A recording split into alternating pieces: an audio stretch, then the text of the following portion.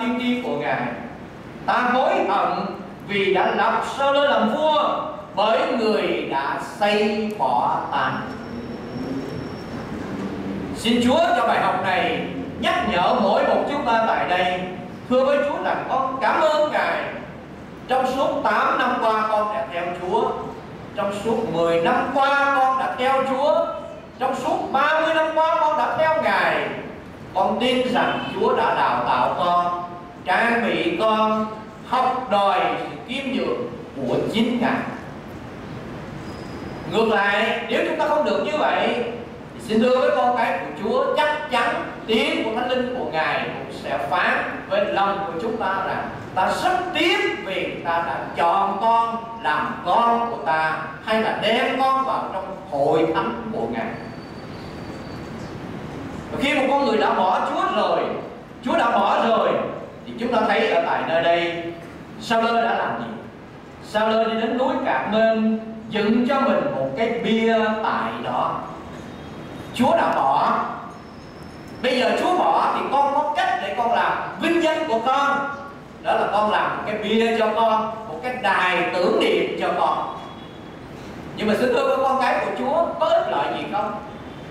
Chúa đã bỏ con người giàu cho có, bỏ phết vàng cho cái tên của mình đi nữa. Nó không có giá trị vì ở trước mặt những chúa trời cả. Giàu cho có một tượng đài, giàu cho có một bức phù điêu, giàu cho một cái bia được dựng lên. Đức Chúa Trời cũng thấy rằng đó là con người mà Ngài đã từ bỏ. Trong lịch sử hội thánh của Chúa trên thế giới, trong lịch sử hội thánh Chúa tại Việt Nam trong lịch sử hội thánh của Chúa trên toàn cầu, chúng ta thấy biết bao nhiêu người đã thành công trong giai đoạn đầu tiên, nhưng cuối cùng Chúa đã bỏ. Sứ đồ Judas Iscariot cũng như vậy, Chúa đã chọn chọn là một trong các sứ đồ. Ông lại có một cái năng khiếu rất tốt, đó là có thể quản lý phần tài chánh nữa, cho đoàn truyền giáo của Chúa Giêsu nữa nhưng chúng ta nhớ gì trong việc Chúa Giêsu cầu nguyện trong Tin lành Giăng, chương 17 câu 13 và câu 14 Cha đã giao cho con những kẻ thuộc về cha, và con đã gìn giữ những kẻ đó, không mất một người nào hết. Trừ ra đứa con của sự hư mất. Là sứ đồ của Chúa, nhưng cuối cùng không giống như bao nhiêu môn đồ khác, không giống như bao nhiêu sứ đồ khác trong lời cầu nguyện của Chúa Giêsu ngài xác định đó là đứa con của sự hư mất. Trong giáo phái về sự cứu rỗi, lan tràn khoảng năm 1995 96 tại thành phố của chúng ta, giáo phái về sự cứu rỗi, một người tiếp nhận Chúa trước sau gì phạm tội gì cũng được cứu rỗi hết. Một sự nguy hiểm. Và lúc đó thì đức của Chúa một sư nguyên hội trưởng, tức là một sư thái phước trường khi ông học Chúa tại Phú Lâm. Ông đã viết một cái bài in thành sách, tại sao giáo phái sự cứu rỗi là tà giáo? Để nhắc nhở kẻo em con cái của Chúa, tôi lớn của ngài nói rằng Chúa là đấng nhân từ. Nơi nào tội lỗi gia tăng thì ân điển cũng gia tăng cho nên không có sao hết á. Phạm tội gì cũng được hết và thậm chí người ta trưng ra là Judas ca đố cũng sẽ được sự cứu rỗi nữa kìa. Nhưng mà thưa con gái của Chúa trong bài giảng của sứ đồ phi trong chương 1 ông nói rất rõ hắn đi đến chỗ của hắn. Đang khi Etienne thì về đời, đang khi các sứ đồ các tuần đạo thì về với lòng của Abraham. Nhưng mà Judas ca đố thì đi đến chỗ của hắn. Đứa con cái của Chúa chính vì lời Chúa nhắc nhở như vậy, cho nên chúng ta thấy tại nơi đây, chỉ cần có trong vòng 10 năm đầu tiên thôi, hai hình ảnh hoàn toàn khác nhau của một sao lơ. Ban đầu, tôi là người nhỏ hết trong chi phái Benjamin, lại là người nghèo hơn hết, nhỏ hơn hết trong gia đình nữa. Nhưng sao Chúa lại chọn tôi là vua Israel? Nhưng chỉ cần 10 năm sau thôi, thì kinh thánh nói rằng ta hối hận hay là ta rất tiếc vì đã lắp sao lơ làm vua. Thay cho sự kiêm nhường bằng lớp áo tự tôn tự đại, Jehovah Đức Chúa Trời đã từ bỏ, thì đài kỷ niệm trên núi cạc bên đó nó không có giá trị gì hết.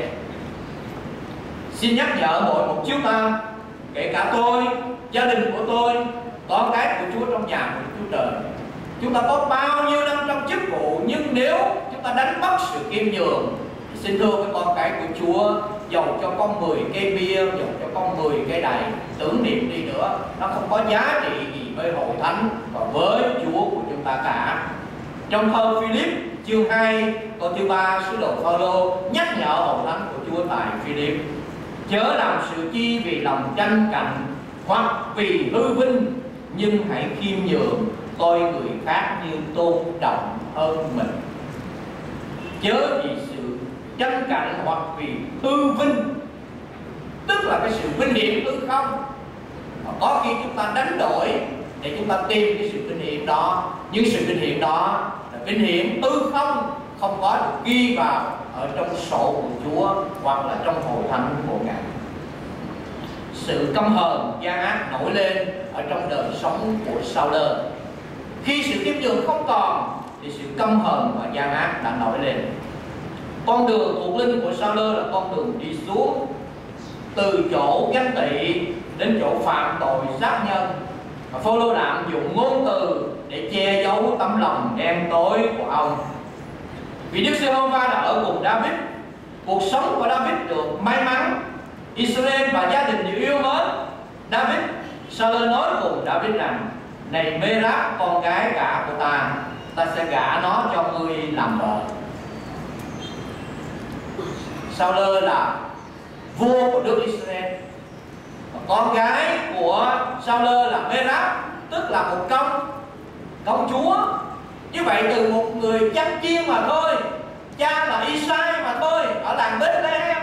À, bây giờ một chàng trai trẻ chăn chiên lại đương nhiên trở thành con rể, phò mã ở trong gia đình, mà người vợ đó là con gái của hoàng đế, tức là công.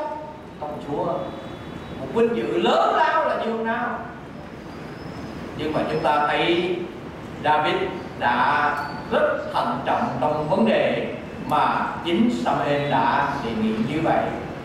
Họ hàng cha tôi ở đây Israel ra chi và tôi trở nên phò mã của vua tôi là ai, thân phận tôi là gì? Họ hàng cha tôi đến Israel, ra chi mà tôi trở nên phò mã của vua điều đó có ở trong con người của David. Nhưng chúng ta khám phá ở nơi hoàng đế Saul ở đây là gì? Ông đã nói gì ở tại nơi đây? Chỉ phải giúp ta cách mạnh bạo, đánh chặt cho Đức Giê-hô-va. Con muốn làm phò mã cho ta. Con muốn trở nên người có địa vị trong gia đình của ta vì chỉ là một chàng chắc chiếc thôi.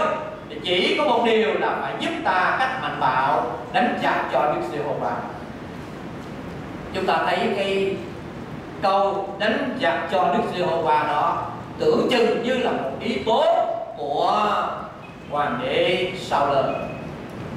Nhưng kinh thánh chép gì trong câu 14 đến câu thứ 17 đó?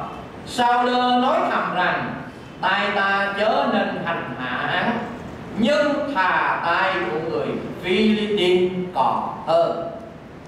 Như vậy thì có phải chăng việc gả Merab cho David, đó là đánh giặc cho Đức Giê-hô-va không?